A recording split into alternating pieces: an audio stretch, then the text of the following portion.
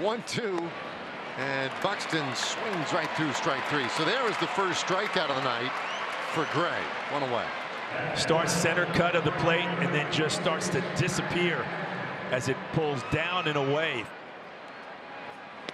And instead, he'll take the strikeout of Polanco. He goes down looking. Two away.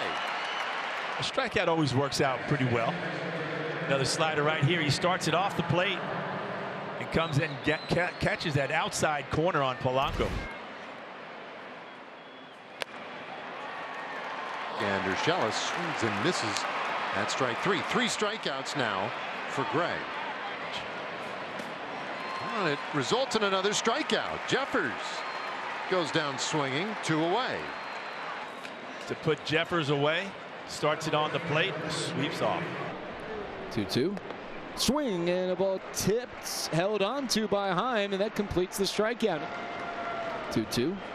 Swing and a miss. Fastball, top of the zone, challenging Gordon. He can't catch up, and Gray with another strikeout. 1 2. And at strike three called, Correa down looking.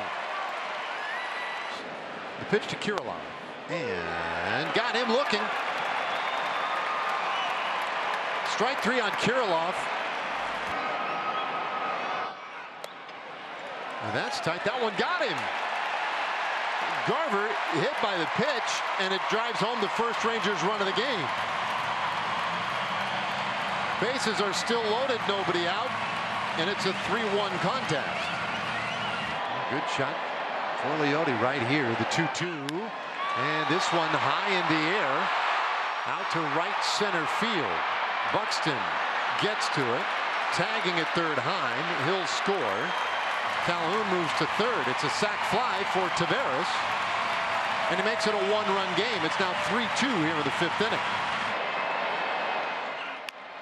And this one up the middle, and that's a strong single to tie the game. Smith gets Calhoun to the plate, and it's a 3-3 ball game in the fifth inning. Second career RBI for Josh Smith. Oh, you just love seeing that ball go right back where it came from, right back through the box. Base hit, RBI. This ball hit well. Deep out to right, it is gone! A no-doubter for Corey Seager. Two very similar pitches in one at-bat. And Corey knew it right away. He just dropped his head and started breaking into his home run trot.